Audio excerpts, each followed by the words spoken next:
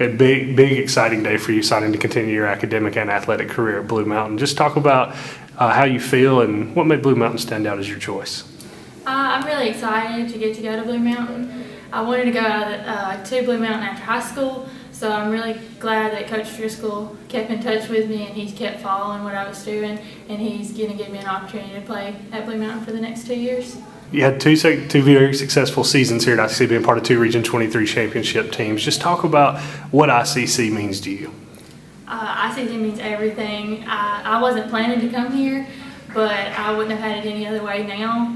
Uh, all, nobody gets to win two regions and gets to go to nationals in two years usually, and I, it's just been a blessing with this opportunity to get to play under Coach Gray and Coach Porter. And just talk about Juliana and her impact she had on the program the last two years. Well, Juliana is just one of those uh, overachievers. You know, she's just one of those kids who's always going to do uh, to the top of her potential. We're really excited that Blue Mountains picked her up. She's going to, you know, bring great uh, offensive threat on the outside to them, and she is an excellent student. She's going to be, you know, I think she's in education. She's majoring in education. She's going to do great over there and have a great future in front of her, and I'm excited that she's getting all of that uh, under the basketball realm of things.